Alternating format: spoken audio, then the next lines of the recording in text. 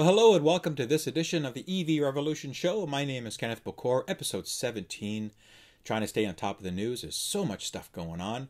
So let me get right into some of the top stories that I'm going to tell you about a little bit today. Now, talking about the cost of batteries and battery pricing coming down, part of the driver for that are startup companies that have sprung up over the last couple of years to dibble and dabble into the battery uh, technology environment. And, and of course, I've talked a lot about this previous shows. Trevor and I talked about it back on Model 3 where there's a lot of different research, R&D going on. I talk about solid state batteries and all these different chemical mixes and stuff to, to make them better and cheaper and so forth. Well, there's a new company that's popped up called Enevate, and they're a battery startup company. LG Chem thinks these guys have something cool and they're throwing some money to help them continue on with developing this. Um, and it's kind of looking at the next gen tech in the battery world.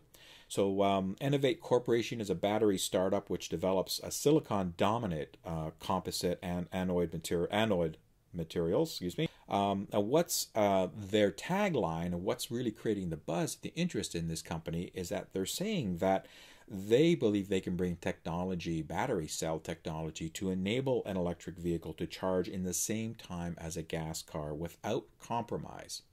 Now, if you followed the shows, especially the Model 3 Owners Club show when Trevor and I were doing that and, and continuing down the path here with me on EV Revolution, you've heard me say time and time again that eventually we'll see battery charging very close to a gas station like experience because from a consumer perspective we all get set in our ways and change is tough when we're going to do something that requires a lot more effort. So today you know taking your suv or your car to the gas pumps and spending five to seven minutes putting fuel in maybe or maybe not going in to even pay for it just tapping out or using your debit or credit card at the pump and off you go that's your experience. And to have to go to a charger and now sit for 30 minutes, 20 minutes, 30 minutes, 45 minutes, an hour to get a fast charge, depending on the vehicle and, and parameters.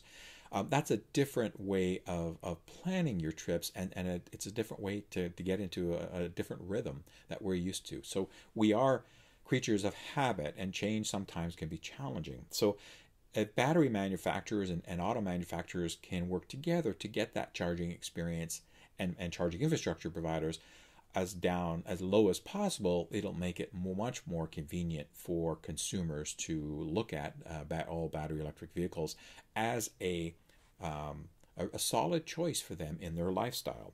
So companies like Enevate that promise that it, its cells um, will be ready for ultra fast charging in five minutes they're also claiming that they're going to store more energy per unit of weight than the current state of the art commercial lithium ion cells.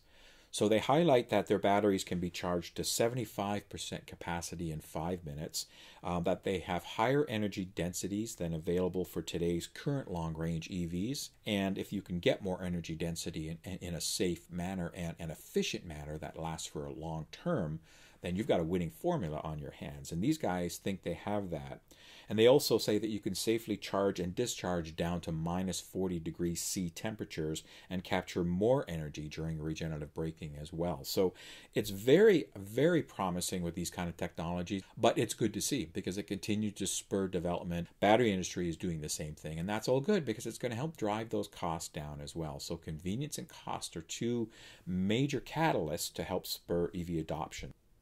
Want to switch gears quickly to Tesla. They made the big news this week uh, over the last few days with their record quarter three uh, 2018 announcements on their earnings and their profits. I'm very excited about the positive uh, financial results. Um, for the third quarter, um, Tesla recognized a revenue of 6.82 billion. These are US numbers with a profit of 290 per share and that goes totally against what Wall Street had expected because they had expected a loss of 15 to 19 cents per share and here is, uh, is Tesla making almost 3 bucks per share as a profit. Uh, Wall Street predicted 6.33 billion so uh, Tesla did better than that prediction but really who cares about Wall Street? I don't.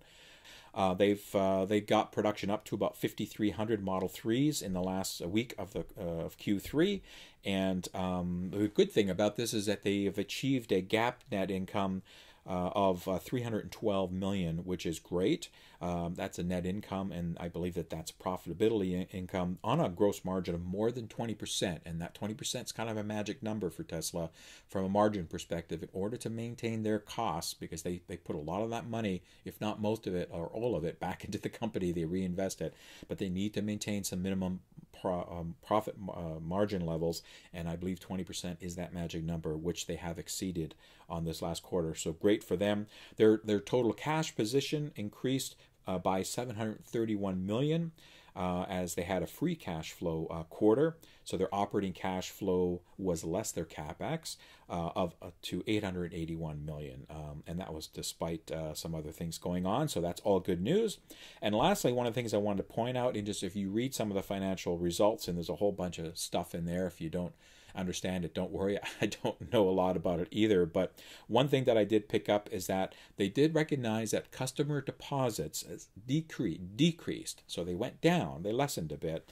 Um, slightly compared to Q2 of this year, and they were down to 906 million dollars, and that's an evaluation. So that's the the deposit money that they've put you know that they receive from reservations and then they've had cancellations so they've had to refund some of that money on a cancellation. I know that they're working through the backlog but again um, as i've been saying i'm glad that they're able to start cranking these things out because they have to. The longer they make people wait the greater the chance that people who have a reservation are going to go and get something else. But congratulations on tesla.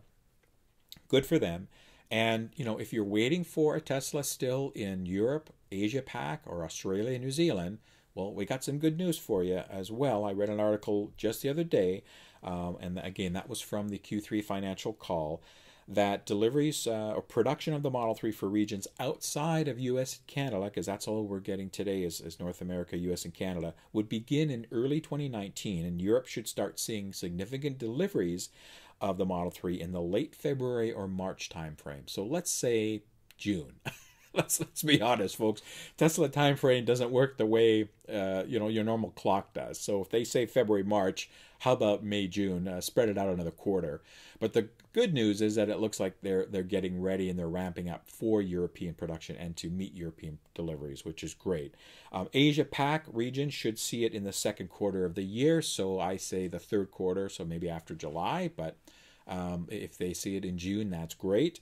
Um, and then the right hand drive configurations, there were a couple of people that had asked Elon uh, about that. One person from Australia and one from the UK, and he said that it will be sometime that instead of being in 2020, that they've been able to bring it into the 2019 calendar year, and they expect around the mid 2019 for right hand drive versions of the Model 3 to start to be available for delivery. So let's say instead of mid 2019, let's say Q3 just to play it safe. But that's all good news because I'm sure that there are, are th- tens of thousands, if not a couple hundred thousand of back orders from these regions that they need to fill. Um, and it'll be great to see the Model 3 in people's hands being able to get you know there's no reason then why they couldn't get 200,000 Model 3s out next year double what they've done this year if they can uh, because they have the orders there if they could just meet those deliveries in those areas there's uh, a lot of backlog. So good for them. Again folks just I always warn be careful of Tesla uh, dates and numbers because uh, especially the dates tend to, to be dynamic and fluid.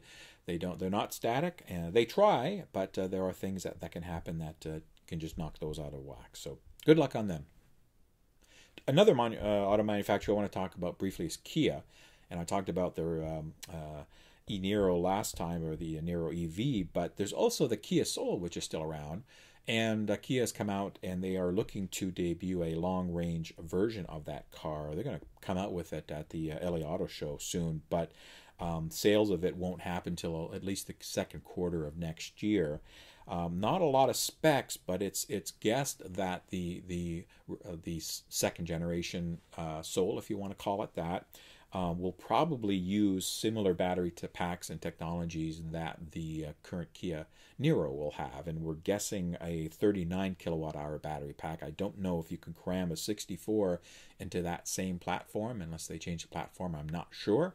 It could be available if they do get the 64 kilowatt version available for that car. Um, the Soul would, would give you around 300 miles of range, uh, 485 kilometers.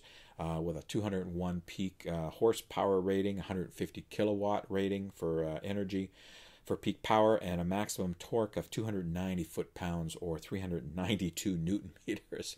That's a lot for a, a Soul. It's not a very big car. It's a it's a little bit of a boxy car, so that's that's a lot of oomph for that car to get up and go. Um, so let's keep our fingers crossed and hope that that happens. And uh, these pack numbers, by the way, EPA numbers or range numbers, are actually what we're seeing. I've been uh, watching a few of my friends in the UK. Shout out to James and Kate, and shout out to uh, Nick and. Uh, and uh, Green Tea Leaf James as well, who have just uh, done some stuff on the Hyundai Kona, which is very similar technology. Of course, Hyundai and Kia are the same company, owned together. Um, then they are actually reporting real life ranges of 300 miles on these cars. So that's outstanding that they're getting that for that price point and, and for that uh, type of uh, chassis. So if the Soul can get that, I think it's going to be an extremely uh, well positioned vehicle depending on how it's priced because it should be a bit less than the Niro. Uh, from a price point, uh, the only negative that I saw in this article was that uh, Kia is only targeting to, to sell to sell about twenty thousand units by 2020, so in a couple years. And that to me is extremely disappointing. And that's what I've been saying about the Kona and the Niro as EV as well. Uh, these cars, the Kona and the Niro EV, the Niro EV is a game changer in my mind. I think it really hits the sweet spot. If the pricing is going to be right on this, it gives it gives a large market a lot of what they want.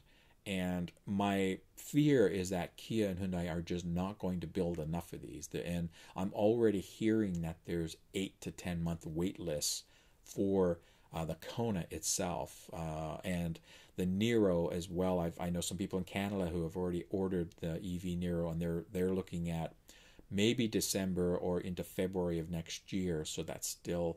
Uh, they ordered it a couple months ago, so it's a good four or five months wait list there. But I'm hearing the wait list could be longer. So um, Kia and Hyundai, look, if you if anybody there from there is listening, please, you guys got to recognize that this market is huge. The potential is there, and I know it's costing you money. I know the margins probably aren't the same as they are on a ICE V version of an Ioniq or an ICE V version of a Kia Soul or an equivalent ICE V Forte or any of the other models that uh, you guys make but this is something you've got to get into and you and the only way to get your pricing down is to start cranking these things out. And tesla's you know follow their lead. They've been the ones showing everybody how it's done.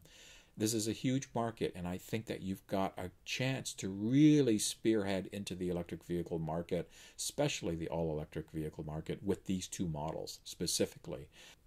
I think you guys have a really good chance of opening up the market crazy uh, more than you know more than a game changer for the Leaf or some of the other the Chevy Bolt or others that are out there. If you can just get cranking them out, don't do twenty thousand, do a hundred thousand a year, do one hundred fifty thousand a year. I mean, do whatever you can. So keep an eye on this, folks. And if anybody's got one in order and they and you've got some lead times on these, uh, let me know. If you do hear anything more, if Kia reaches out to you about the new longer range Soul EV, let me know because I'd love to uh, to hear more about that.